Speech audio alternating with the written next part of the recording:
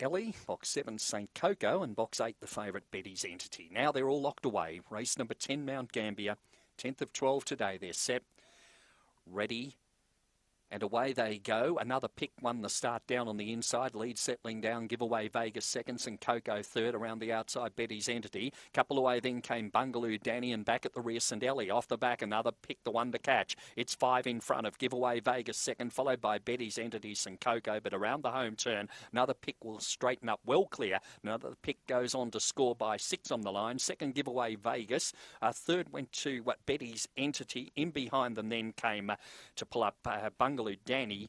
Uh, further back then came St Coco.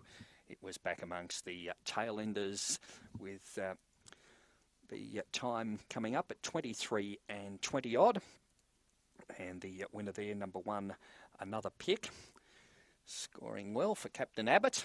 And uh, another pick gets home over number four, should get second. Giveaway Vegas. It has. And third into number eight, uh, Betty's Entity, 1, 4 and 8. Race time officially 23 and 17 recorded by that uh, winner, number one. Another pick, and another pick is by Unlawful Entry from uh, Proud Fantasy. The Greyhound a White and Blue Bitch whelped in February 19 owned and trained by Captain Abbott. Second placing going to uh, number four, Giveaway Vegas for Noel Perry, and third in number eight, that being Betty's entity for trainer Dave Peckham. Officially fourth, number seven, St Coco for Dean Fennell.